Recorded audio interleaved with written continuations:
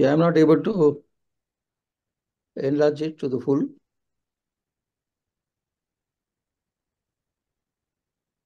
Can I go ahead with this like this? Yes, maybe you can put play. Yeah, I'm okay. Is that okay? Yes, perfect. Thank you very much. Thank you for the invitation. Pleasure to uh, join all of you. And um, uh, I'm from India, and uh, it's a excellent topic to have a discussion with uh, very nice uh, faculties here. Acute spinal cord injury and the ICU management. It's very interesting to to go through that. And most of the spinal cord injuries are very much cared only in the intensive care unit. Um, so uh, if you look at look at this intensive care of spinal cord injury patients are very diverse in the worldwide due to global inequalities in economy, infrastructures, and availability of specialists. Uh, this is most important because um, when you look at the various managements um, from different countries, it varies from one country to another country. And so uh, we have to see as a total, and I found a very nice article um, written by the anesthesiology groups who are taking care in the uh, critical care management in United Kingdom. The management of acute spinal cord injury in non-specialist intensive care units, uh, a narrative review. So this was a very excellent uh, paper, and this summarizes this is the the flow chart of the the talk, uh, which I will go through and uh, try to make it as smart as uh, as short as possible. The the most important thing is the airway management uh, with the tracheal intubation, which is very important for all the spinal cord injury patients, particularly when it is associated with the brain injury. And when there is a respiratory failure, which is uh, about to be seen or you expect it so, then you need tracheal intubation high cervical spinal cord injury, and also to facilitate a surgical intervention in acute period. So the tracheal intubation is very important and it has to be done as early as possible. The next thing is that about the intubation technique, which is very important and we have to see that the cervical spine is not dislocated further and cause more impairment to the, the spinal cord injury. So the uh, the technique is depending on the experience base uh, from the clinician and also assessed by for each case individually. Uh, this is a very important thing, uh, tracheal intubation, and it's separate part altogether, but we should know as neurosurgeons, uh, we should know about it. Subsequent to uh, intubation is the tracheostomy. Tracheostomy is very important, uh, particularly in very high grade complete quadriplegia like ASIA grade A and ASIA grade B cases which needs tracheostomy because they are going to be uh, in the critical care for a very long time. Injury at C5 and above. Obviously, the the Center for innervation, uh, which a Phrenic nerve takes, is about the C4. So we all know about that patient will have uh, respiratory failure uh, increase injury severity, as I told earlier, and also when it is associated with uh, the brain injury, uh, with a Glasgow Coma scale of 8 or below. When there is a thoracic injury associated with very commonly we see in a combination of head trauma, cervical trauma, and thoracic injury. So all these things uh, which needs um, more care, finally, we have to treat these patients uh, with a tracheostomy. Then uh, it comes to the, about the ventilation strategies. Mechanical assist devices are very important with aggressive physiotherapy. Mm, the physiotherapy start, started from the time of the admission uh, of the patient inside the critical care unit with high tidal volumes of 15 to 20 mm per kg and zero positive end expiratory pressure. PEEP is very important that need to be adjusted as needed. And when whenever the strategy is made for ventilation, then there is also there's a plan for uh, weaning also. So this is very important. It is very difficult, and um, neurocritical care specialists they have a lot of uh, protocols uh, for, for weaning process. Uh, apart from the ventilation, we come to the blood pressure because blood pressure is very important associated with hypotension. So the target mean arterial pressure must be approximately about 85 millimeter of mercury MAP for five to seven days continuously to prevent hypoperfusion at injury site and prevent secondary injuries. Euvolemia and vasopressors, particularly about noradrenaline, is very essential and that need to be titrated very well. Uh, there are so many things which at the research level is individualized perfusion and microdialysis, but they are not in practice at present in many places. Maybe in, in research centers, they are being practiced and maybe uh, research is being done on that. But most of the thing is done with euvolemia and vasopressors. The weaning of the ventilator, after that is depending on so many factors. The weaning fails when it is, and it is defined as either the failure of spontaneous breathing trials or the need for reintubation within 48 hours following extubation if you do it very wrongly. So a simple weaning is completely different from difficult weaning and prolonged weaning. So these are the uh, aspects which we have to take in care while we treat the spinal cord injury patients. Weaning out also takes care of, takes, takes the part of the respiratory weaning strategy.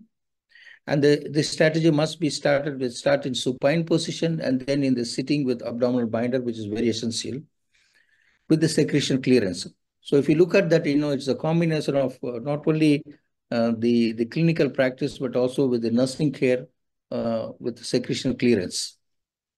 And the weaning out is uh, should be uh, aimed at vital capacity 5.8 ml per kg, spirometry, ABG should be routinely taken up, patient should be afebrile, should not have any atelectasis, there should be a clear lung field and clear secretion management strategy. All these things are very necessary for weaning out uh, of these patients uh, from ventilation while the patient is being treated for spinal cord injury.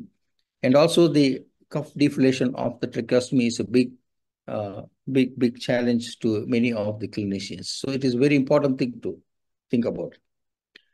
Uh, that apart from that, the one point which we see is about autonomic uh, dysreflexia, though it is not very acute, but they do see in 5% of the cases in acute stage. Um, usually they may be associated with CVS, with myocardial infarct, atrial fibrillation, premature ventricular complexes, and AV conduction failures. Uh, as far as CNS is concerned, they may have an uh, CVA, headache, seizure, encephalopathy, sudden anxiety and apprehension, visual retinal detachments, blurred visions, and pulmonary edema. So it is a very, very uh, uncomfortable situation which needs a sit up and loosening of the clots, uh, investigate and treat the precipitants. If the bladder is distended, you need to flush out the bladder, lidocaine catheter, avoid rapid emptying, and check the testicular torsion in case if it is there fecal impaction, manual check, laxatives, evacuation, and check fissures. And pain is also an important subject, which I'll come to later with pressure sores also carry a lot for auto autonomic dysreflexia, which need to be taken care. During this uh, time that ACS score has to be analyzed every uh, you know period of time to assess the patient is improving or not. So this has to be standardized all over the um, ICU management. To come to the pharmacology, where the pharmacology is absolutely not being, um, you know, be taken out of spinal cord injury, uh, it's a big controversy because it is being going through since 1960.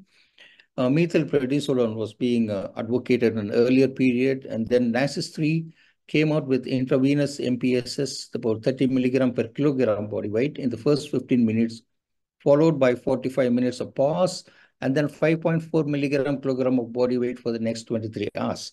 So this is the uh, the concept which came in in the recent Greenberg book. This Greenberg's uh, book has also has mentioned very interesting point. I would like to come to that a little bit later uh, about methylprednisolone. So the world is divided whether to use methylprednisolone or not. As as in this uh, article, you can see this article has seen the results up to 26 weeks, and they found that they did not have any demonstrate any enhancement in the neurological recovery. So it is being found that it is not very useful. And this is a Korean uh, journal uh, article which came very recently, tried to say that no, no, we should not use MPSS and we should encourage others to stop it.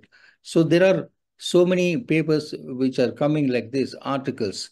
But however, you know, we have Michael. Michael is uh, is going to talk to next.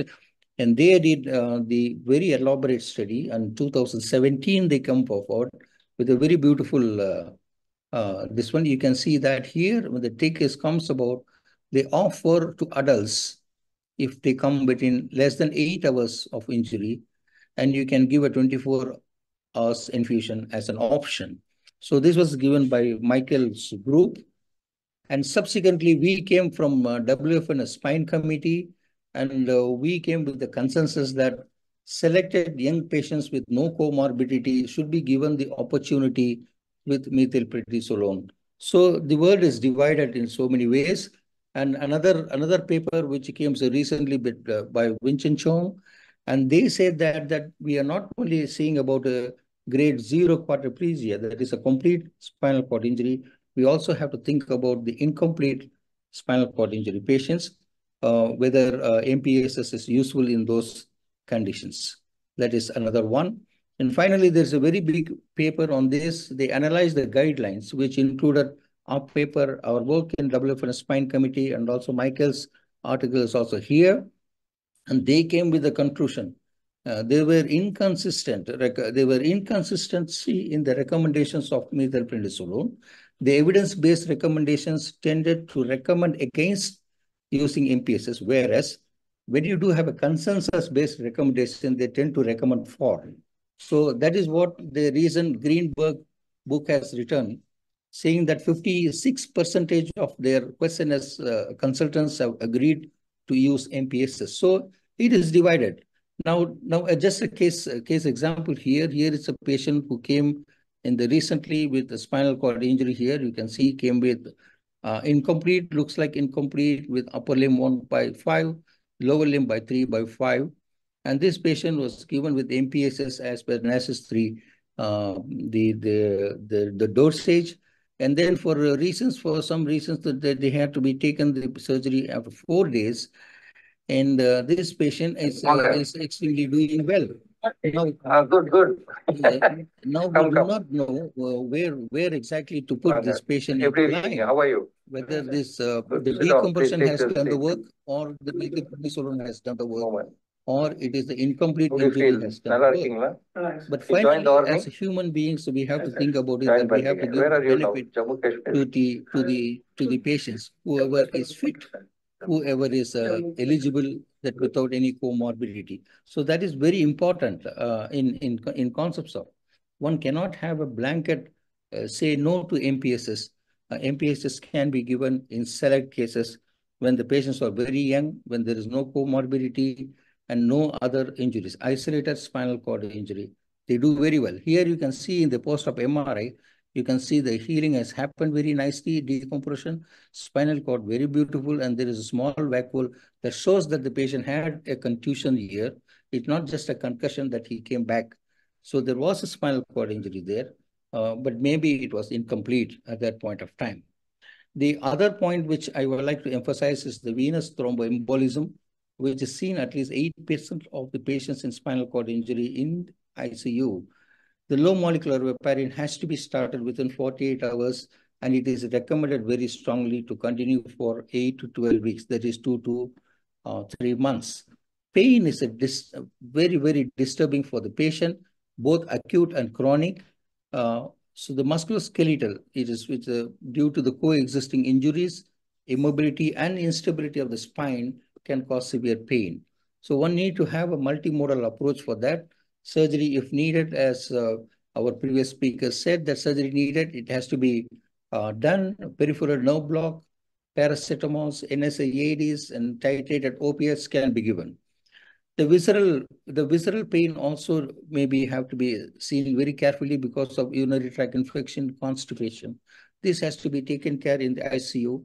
The neuropathy pain, which is about in 56% of the patients, Uh, this can be at the level of injury or below the injury. Amitriptyline, pregabalin, gabapentin, and duloxetine, they are some of the medications along with anti-anxiolytics and antidepressants are very useful in reducing the pain uh, because it is very, very discomfort when a patient has a pain with the neurological deficit. This also should be taken care in the critical care uh, patient in the ICU. Pain specialists will be of very great helpful in these patients.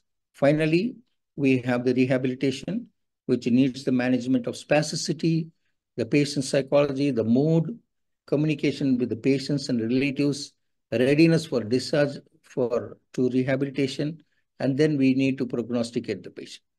Um, I, th I, thank you for uh, listening to my talk.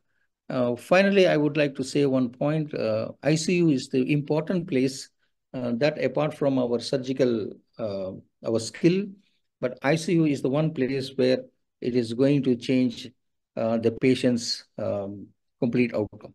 Thank you very much. Thank you. Thank you. Thank you very much, Professor Parthiban, for your excellent presentation. So we continue with uh, Professor Michael Fehlings uh, speaking on early versus late surgery. Professor?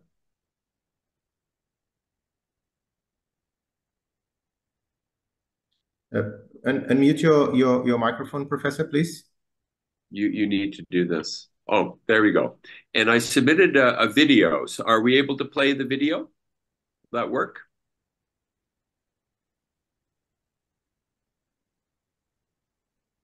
Yes. Abuja, can you please make it? Abuja, are you there?